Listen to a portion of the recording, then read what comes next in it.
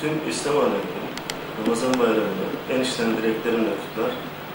Allah'tan e, hayırlara vesile olmasını dilerim.